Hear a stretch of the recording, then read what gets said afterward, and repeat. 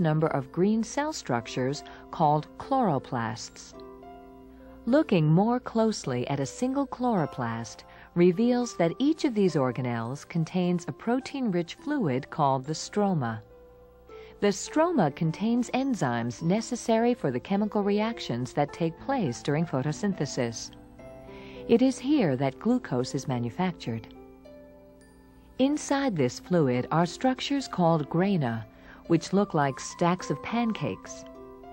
Each granum consists of disc-like thylakoids.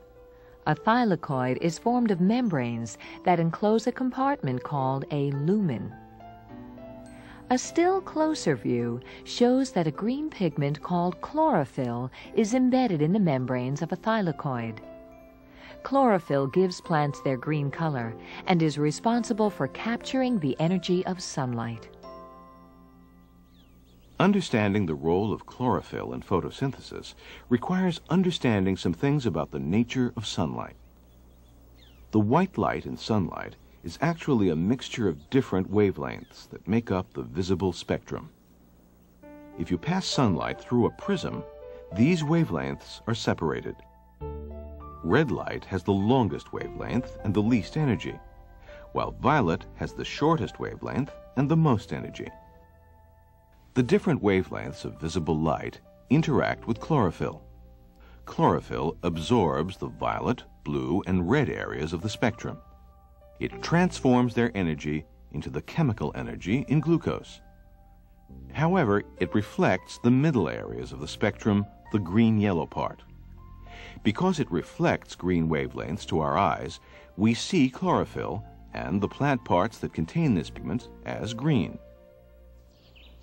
Many plants contain other pigments besides chlorophyll, including yellow pigments called carotenoids and red pigments called anthocyanins. In most plants, these pigments are masked by chlorophyll. In autumn, however, some plants no longer produce chlorophyll, and these other pigments become visible in the brilliant red and yellow foliage that is famous for this time of year. The chemical reactions of photosynthesis that take place inside chloroplasts occur in two stages, the light reactions and the dark reactions.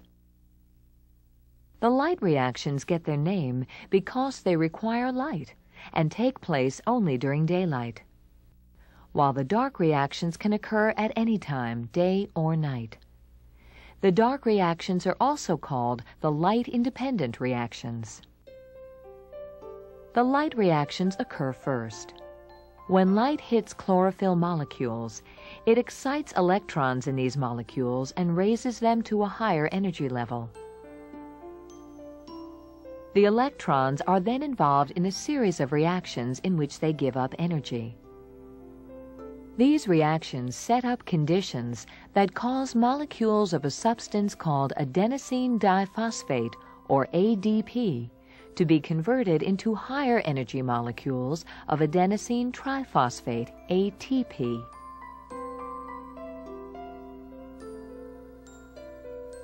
While this is happening, the energy of sunlight also leads to the splitting of water molecules. Oxygen is formed the oxygen is released into the atmosphere. Hydrogen ions also result from the splitting of water. Another molecule is formed when electrons are transferred to a substance called NADP. This allows NADP to bind to a hydrogen ion. The resulting product, NADPH, is another high-energy molecule.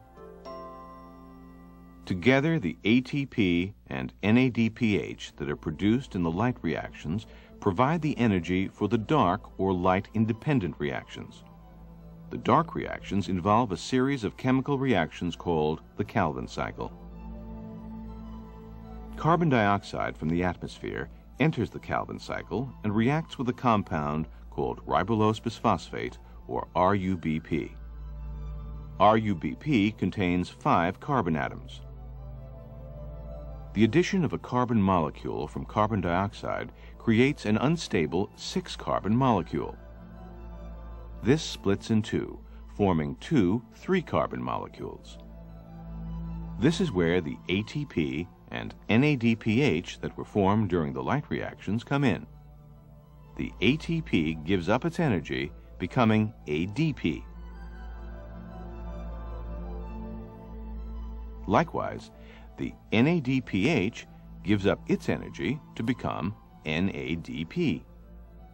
The energy from ATP and NADPH is used to drive reactions that change the three carbon molecules, converting them into higher energy molecules of phosphoglyceraldehyde, or PGAL. In several turns of the Calvin cycle, some of the PGAL leaves the cycle to form glucose and other molecules. The rest of the PGA